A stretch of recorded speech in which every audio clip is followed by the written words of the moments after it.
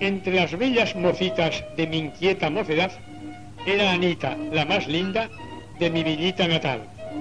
Oh, qué bonita era Anita, Anita la del Batán.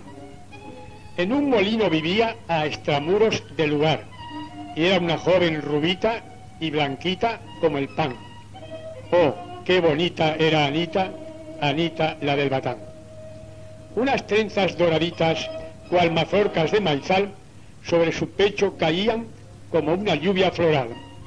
Oh, qué bonita era Anita, Anita la del Batán.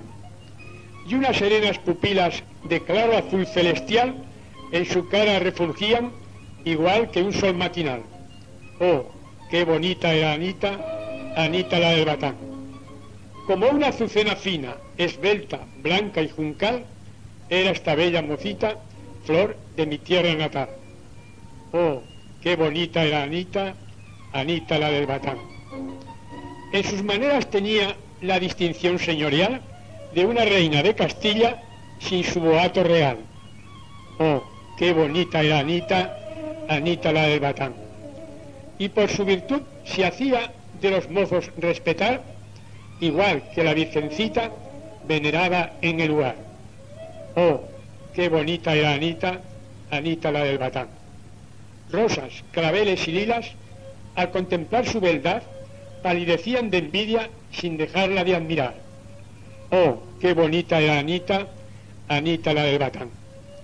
Y hasta el sol se detenía sus rayos a comparar con sus doradas trencitas que reverberaban más.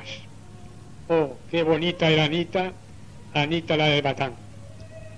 Los mozos que la veían imperturbable pasar, en sus arterias sentían toda su sangre brincar. Oh, qué bonita era Anita, Anita la del Batán. Y hasta los viejos volvían sus dos ojos hacia atrás como muda pleitesía a su juventud triunfal. Oh, qué bonita era Anita, Anita la del Batán.